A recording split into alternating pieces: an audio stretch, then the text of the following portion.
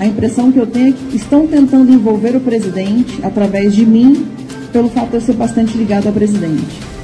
E isso não vai acontecer porque não existe, primeiro, nenhuma, absolutamente nenhuma prova e nada que tenha sido feito a pedido do presidente em qualquer coisa.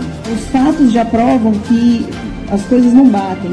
O que eu tinha contratado, o que, esse, o que eu tinha subcontratado através dele foi o pedido de uma ligação das redes sociais minhas com o meu site. E que ele próprio já falou algumas vezes na imprensa que ele não conseguiu terminar, não conseguiu fazer.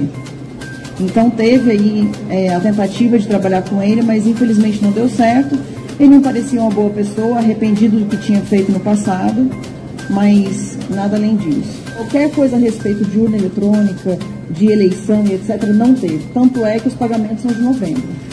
Né? E eu não fraudaria eleição, as eleições para o Lula ganhar. E nem seria tão barato assim. Não existe relação entre esse tipo de valor e o que se diz que, que eu tenha feito. Eu não tenho por que falar, porque ele não teve nenhuma participação sobre isso. Olha, vocês, jornalistas, foram os que mais é, exploraram o conhecimento do Delgatti na Vaza Jato.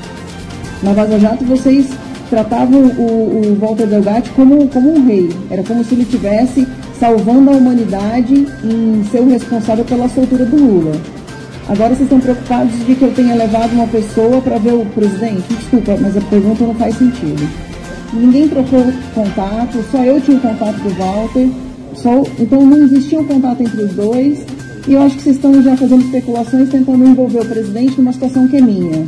Eu digo o seguinte: se houver qualquer coisa relacionada ao Walter Degatti, é Carla Zambelli que responde. O presidente Bolsonaro não tem absolutamente nada a ver com isso. Muito obrigado, boa tarde.